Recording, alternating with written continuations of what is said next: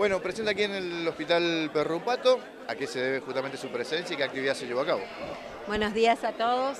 En realidad sí, tengo el honor de compartir con este querido hospital.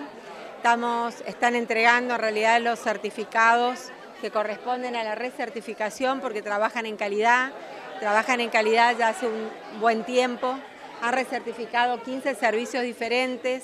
Esto significa un gran desafío, animarse a que una auditoría externa los revalúe, que se capaciten permanentemente, trabajar en eficiencia, en, eficiencia, en mejora continua y por supuesto en mejores resultados en productividad tanto del recurso humano como del recurso económico. ¿no?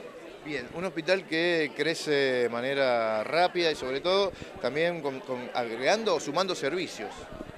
Así es, recordemos que hace muy poco estuvimos en la inauguración de los nuevos consultorios externos.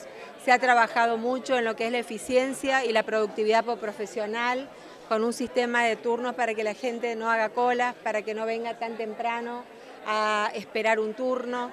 Se ha abierto y trasladado a la farmacia lo que significa la farmacia ambulatoria, para que también la gente tenga el dispendio de todo lo que es medicación rápidamente separado de lo que es la internación. Yo siempre digo, esta es mi casa, trabajé aquí más de ocho años, es un gran equipo, esto se hace con equipo y por supuesto con una firme decisión política, con el apoyo que le hemos dado desde el gobierno central. Creo que la convocatoria a que en otros nosocomios, en otras instituciones se animen a trabajar con normas, con normas de calidad, trabajar en gestión de calidad es el desafío constante de la capacitación, de acortar los tiempos, de acortar los plazos dentro de lo que es la burocracia administrativa y por sobre todo trabajar en la seguridad del paciente y en el vínculo médico-paciente, eh, mejorándolo continuamente. ¿no?